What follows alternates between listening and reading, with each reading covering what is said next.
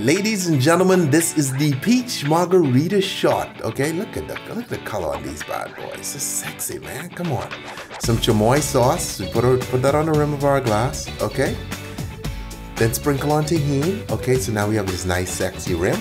Our glasses are ready. Let's get down to the mix. Ice in our mixing glass, followed by some tequila. Come behind the tequila with some triple sec. Follow the triple sec with some fresh squeezed lime juice. Follow the fresh squeezed lime juice with, come on, catch up. Some peach nectar. Beautiful. All right. Now we give this a little bit of peach puree mix added into. Shake that bad boy up. That's a delicious mix as is.